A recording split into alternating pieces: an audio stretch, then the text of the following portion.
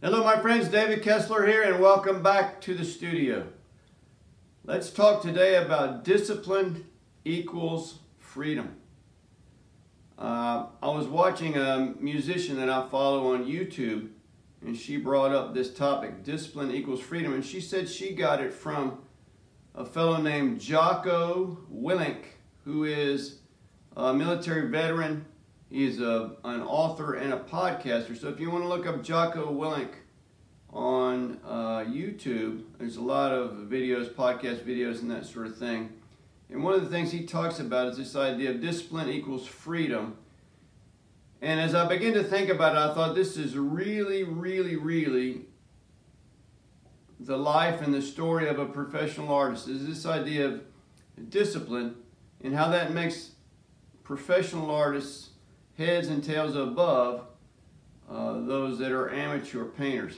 And here's a few things in my mind that make professional artists um, ways that they have discipline that a lot of other people don't. And this is what makes them successful. And I've talked about some of this before. Uh, so here's a few examples. You know, they use discipline to create a consistent body of work. And when you do that, it's easier to sell your work. It looks more professional. It's easier to get into galleries. It's easier to get into shows. Um, also, they have a, a, a, a systematic sort of a studio process that leads them to be able to create more consistent work. But it takes discipline to have this studio process. You know, it takes discipline when you're doing a painting not to throw in every single color that you have on your on your table, on your work area, or every tube of paint that you own. It takes discipline to have, you know, a color theory and a color system that you use to choose the colors. Uh, it takes discipline to have a specific system that you use. It takes discipline to forge your own path. It takes discipline to stay on that path and not get distracted by fads and gimmicks and tools and all these other things. It takes discipline to have blinders on to move forward on that path. It takes discipline to create new work on a regular basis. It takes discipline to do what I do uh, with regard to creating content on a weekly basis that I've done for, you know, three and a half plus years now.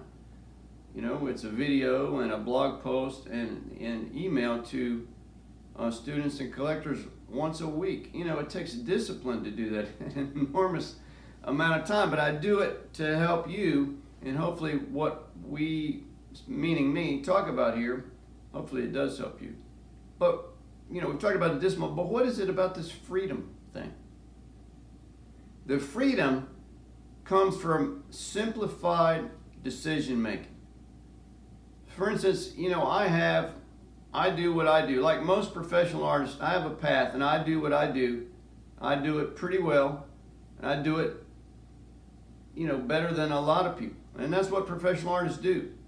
You know, they have a path, they're doing a thing, and they're successful at it. Um, but when you're on that path, and you have the one thing and the one process and the one uh, kind of work that you create, there's freedom in that because you're not distracted. I'm not distracted by every little fad that comes along. I'm not distracted by all of these other things that I don't need to use in my studio.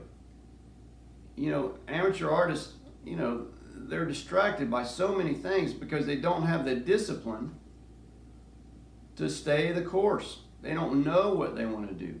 They haven't decided what they want to do.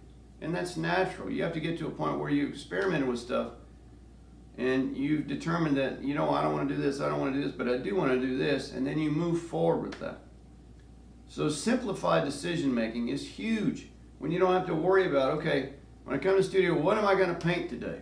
I already know the direction of my work. I don't have to worry about everything.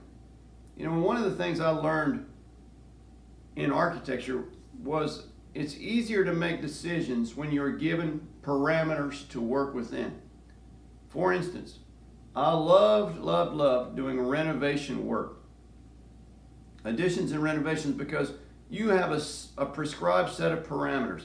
You have an existing building lot, you know, site. You have an existing building. You have building codes with that tells you what you can and can't do with that building. You have the requirements of the owner that you have to work those things within the parameters of the site, the existing building, and the building codes. Right? So you have these parameters, and there's freedom in that because you don't have to worry about, well, gosh, I can do 10,000 things. What am I going to do? You really can't. Right? Because so there's freedom and there's simplified decision making as opposed to having a brand new site and a brand new building and you can do just about anything again within the parameters of you know building code and what the owner wants but the re renovation projects were so so satisfying because you're working within a, a set of parameters and, and some people think this is crazy talk what I'm talking about because they've never experienced it before they don't understand that when you can't do everything your focus is on what you can do. And there's tremendous freedom in that. Tremendous freedom in that. Right? So if you want to adopt this sort of a philosophy that discipline equals freedom, it will completely change the way you look at creating artwork and it will simplify everything that you do. And I guarantee you, it will make you more successful. So think about it. Make a plan, right? get some discipline into what it is that you do and enjoy the freedom that comes with that discipline and you will be more successful than you ever dreamed i guarantee it right if you want to join me for a workshop somewhere across the country there's a link in the description of below uh, to check out the, work, the workshops that i have going on for this year 2020 um, if you like the video or other videos that I've done and this one, please subscribe to the channel. I would appreciate that. And I hope to see you at a workshop soon, or if not, I'll see you on the next video. Thanks.